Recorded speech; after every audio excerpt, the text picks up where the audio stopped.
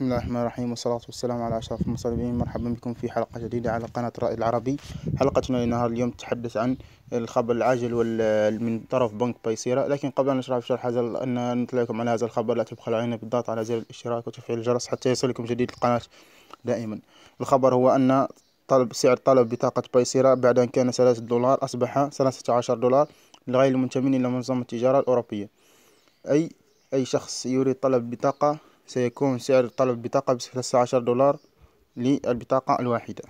لا نعرف لماذا رفع هذا السعر لكن آه، لظروف خاصة عود للبنك ولا لا أعرف ما هو السبب. بعد كل العراقيل أتمنى من جميع من يريد الحصول على بطاقة ويرغب في الحصول على بطاقة يسارع في طلبها حتى لا يتم حظر الدول العربية.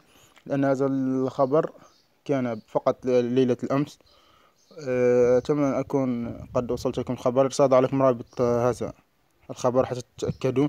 كما ترون الآن هنا الخبر.